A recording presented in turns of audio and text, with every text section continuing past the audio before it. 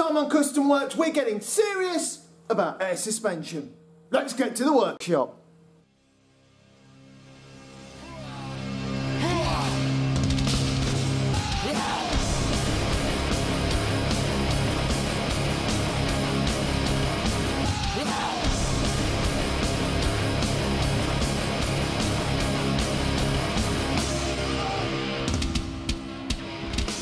So we're fitting airbags on the front of the Mercedes SS.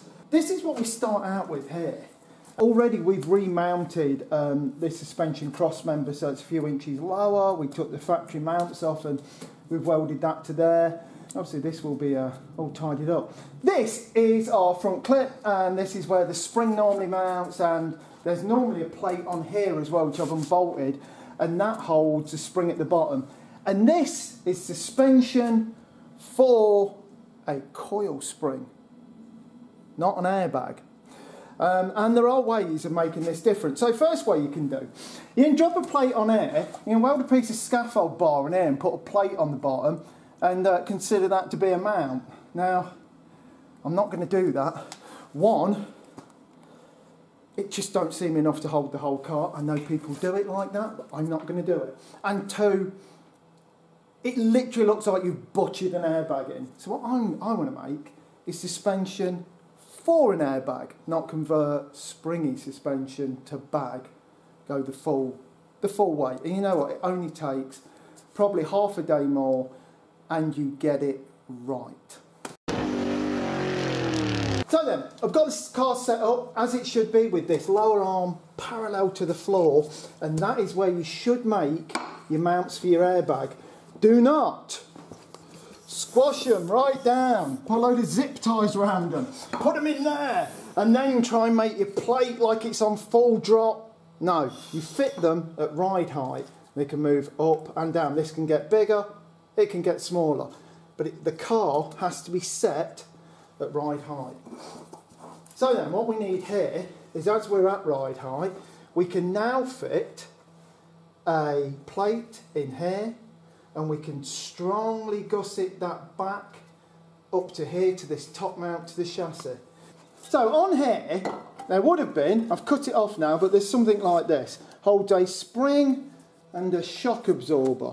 We're not having springs though, so that can go. And as you can see, this is no good for an airbag. But that, cut, I've cut that off. So now, once I've plated this, I've got a lovely foundation that I can now make a bracket to mount to the top of the airbag. I can make a plate to fit on here and then I can run my braided line through here. Um, once this plate's on as well I can easily get to the bolts. I'm not going to be like up that tube trying to do it. This will not be some spring suspension adapted to airbags.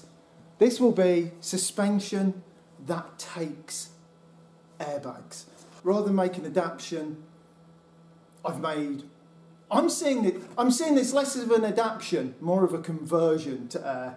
So that's how it goes. But um, all of these things, you know, if it looks wrong, it is wrong. You know, if it all looks seam welded, plated, and strong, it's probably right.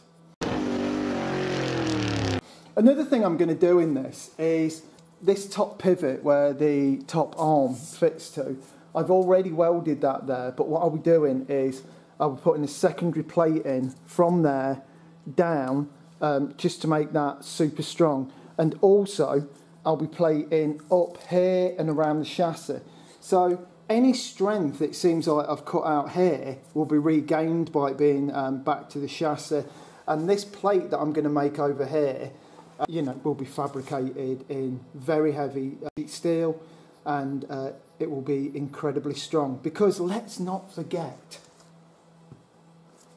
all the weight of the car is on this, on that bag. Everything is on that. This car at full drop sits really, really low. We don't want anything ever going wrong.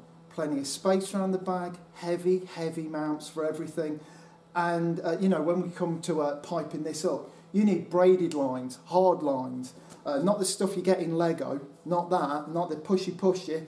Things bolted, PTFE, stuff like that. Strong, strong, strong. It's all that's holding you off the road. Okay, so the first thing we've done is unbolted the plate that fits to these um, these cast arms because of course we can't weld to cast. Uh, well, you can, they'll snap off. But then I made these plates, and these plates will bolt into there, and then we can screw them down. I've actually put um, this is going to have one, two, three, and four bolts in there, just to make sure it doesn't move.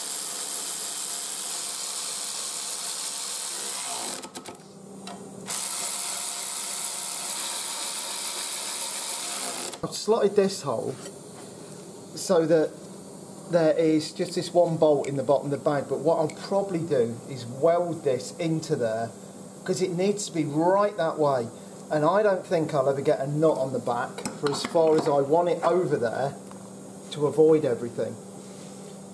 Now I've got this bag in here and this arm parallel to the ground your bag should sit on there and then your top plate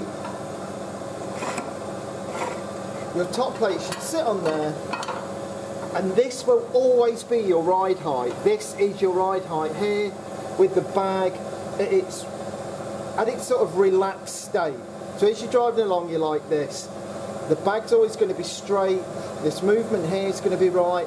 Or your steering geometry is going to be better. Well it's not going to be better. It's going to be exactly as it should be from the factory. And you're not going to get any like hideous bump steer or anything like that. When this is parallel, that is always your ride height. Um, if you want to go lower than that, then you've got to notch your chassis, drop the body, but with your suspension, how it is, when that is level, that is your ride height. You can drive lower. This car could, would be able to go a little bit lower, but the problem there is is that then, as the bag goes down, the geometry on the steering changes. So when your car looks its coolest, it should look like this. Okay, and so the thing with air suspension, what a lot of people do is they make their car so it sits on the floor, but then to drive it, it looks like some hideous spider. I would say if you're on air and your arch comes up, and your wheel arch is there and the tyre's not sort of tucked behind it when you're driving, all you've made is a car that looks higher than it could have been if you just chopped a couple of coils out and two lowering blocks, you know. If you can't drive it when it looks awesome, it's a little bit pointless. If it only looks awesome parked, well, that's just no good.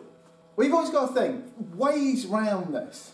On a normal car, I know I'm in, I'm in a such a privileged, privileged position that I usually make the body. And because I make the body, I can body drop. In everything I do is body dropped. And, you know, body dropping, if you've got a chassis and you're putting, basically, if you've got a chassis and you're putting the cab off something else or another car body over that, and you get this wrong, there is no excuse because you can get it dead right every single time. And what I'm going to do with this, I'm going to build this slammed so it'll drive looking awesome. And then it will go lower than that, and, and when it's parked, it will be just insanely low, like broken low. But when it comes up, it will just look like a slammed car and it will fully drive. Not like it's got the wheels hanging out of the arch. If you're uh, if, if, you're working on um, like an old truck, something like that, an old car, and you're changing the massive truck wheels, now when you slam this down, that wheel won't fill your arch anymore. So great thing to do, you make the arch smaller around your wheel. That will always make the car look better when it's down. Also, you can lower your arches. Lowering an arch on a car, two inch on a decent lowering job, will make it look really slammed.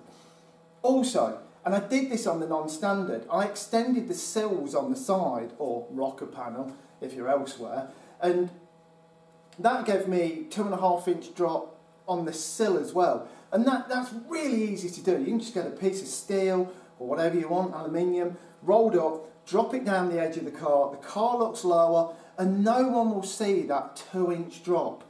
along, you know, between wheel to wheel. And like I say, with the arches, if you drop the arches down, yeah, it's a bit of body work, but your car can look slammed and drive without any crazy bump steer with all that original geometry still at the front, but with none of the sort of cost. And then when you park it, it will sit and it will look super slammed. You know, when you see the arch going almost to the centre of the wheel on like a 20 inch wheel, and it's like, my God, you know, how's that all got under there? And basically, it comes down to the body and the chassis, this wheel, and this suspension all being packaged in a way that will all tuck under, it will steer, it will do all of those things. So my advice would be, number one, always make the body, because then even if your chassis is a bit high, you can always lower the body down, it'll always look great. If you're not doing that, and you can't get it slammed to the floor, or if it's going to look like a spider when it's driving, you can always lower your arches, or pinch the arches in, and there's, if you want to know how to do the pinching the arches in, I'm not doing it at the minute, on all of the big sort of programs on, you know, Kindig-It or Texas Metal or anything like that, they often will pinch the arch to make the wheel fit in the arch. But it's all about the wheel in relationship to the arch and the sill to how low the car looks. Just because you've got your bumper on the floor don't mean it don't look all geeky at the side. Okay, so I've got my bag in, my bag's sitting nice and square on this bottom plate. I've dropped my bottom plate on the top, and that's just sitting there, and the bag is at its natural, relaxed state. This is level to the floor, so I can weld my top mount into place. Now, I'm not going to weld it all the way because I don't want any hot rocks dropping onto the airbag, so I'm going to just put two decent tacks up here and then we can look into the next stage.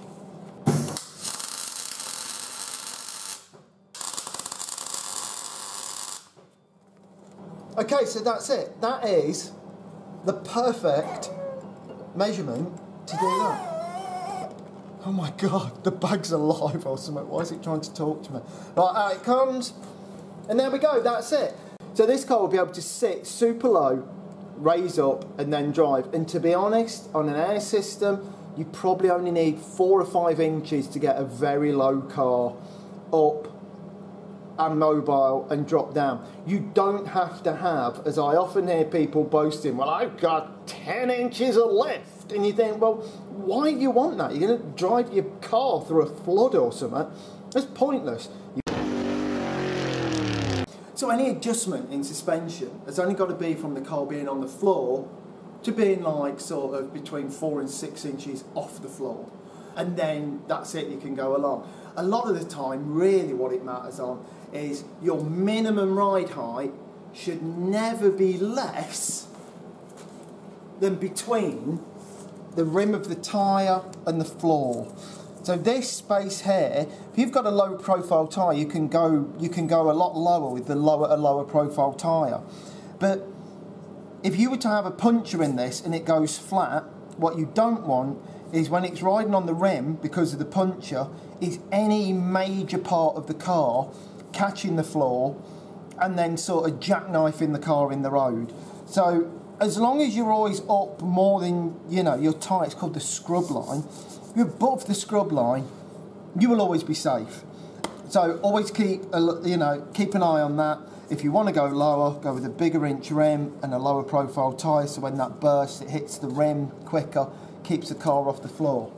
Now then, something I'll be doing with this car, I will be going lower than the scrub line, but I will only be going lower than scrub line with fiberglass panels that in the event of a, a puncture in the tyre, the tyre would, and I'm talking blowout, I'm not talking like a slow puncture goes down over four days, I'm talking about full nightmare scenario. You're on the motorway, tyre goes, car goes down, it's still got to ride on the rim, but as it drops, any fiberglass bits that I've put below that would shear off the car. It would, um, it would just scrape them off and the car will sit lower. So small bits, and with metalwork as well. If your wing hangs lower, as long as there's no heavy framework around it, that will just crunch up, and you'll ride on your rim, and you'll be, you'll, you know, You'll live to uh, tell everyone about how you uh, evaded death for the tenth time or whatever.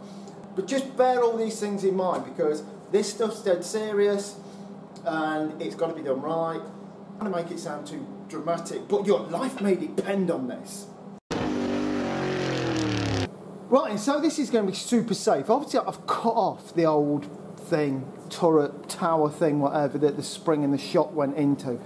That's gone. And I've welded this piece of plate on here, and then, as you just saw when I set the bag, uh, I also welded this plate on, and this plate is at the exact angle it needs to be with the bag relaxed.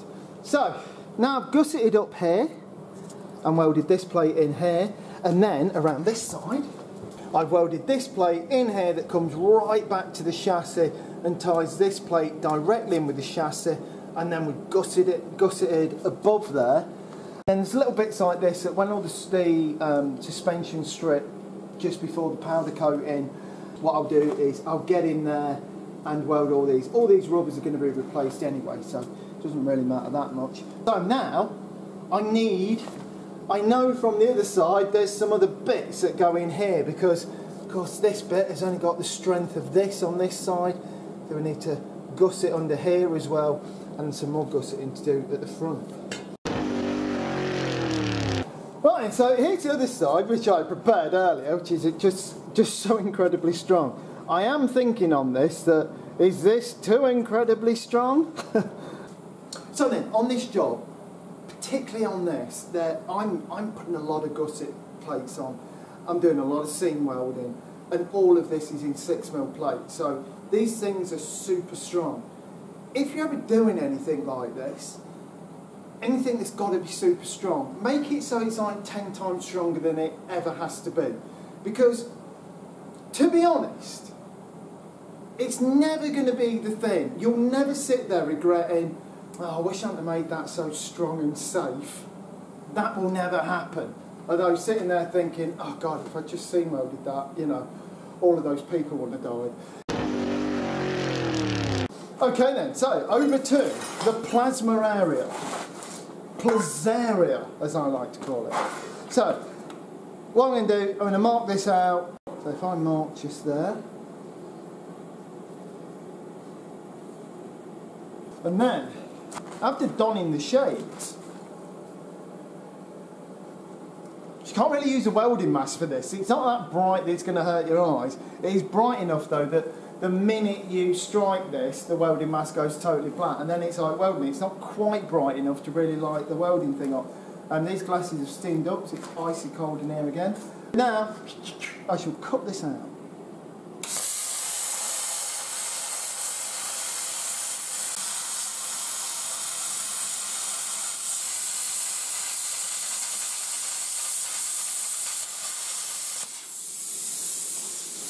And there we go. That should be that should be cut out now. Just with a tap of the hammer, that will drop out. I've taken it over to the bench, clean it up a bit with the angle grinder. So let's get a hammer. Let's tap that out.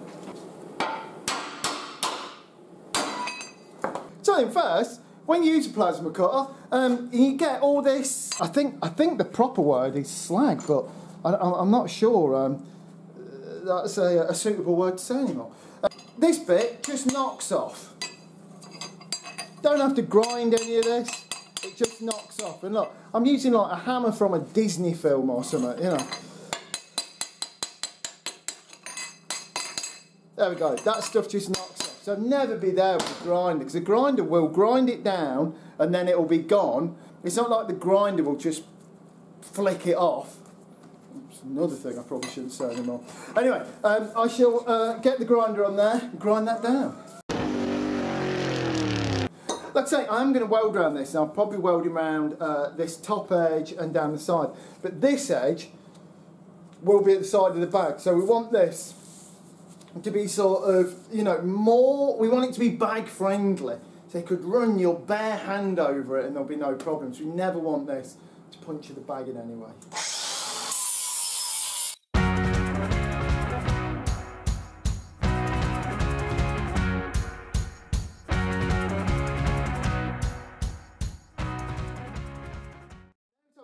Plate that's going to go down and make like that skirt around the bottom of the bag mount. It's going to make it a lot stronger. So let's go and tuck that in place and uh, see how it looks.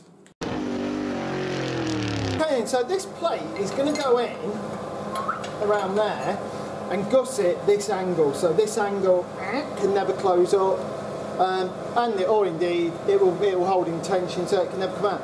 Um, now I've just tacked this, but of course I'm welding this over. So what I'm going to do is I'm going to seam weld round, seam weld round here, then tack this piece over that, and then what I aim to do is over this weld come in with this piece of steel and sort of weld on top of that piece of welding. Um, on this angle, don't look like this back edge is quite right, but I shall uh, I shall carry on. I'm sure everything will work itself out. So I'm going to seam weld round here, knock it off, and then get that tacked in.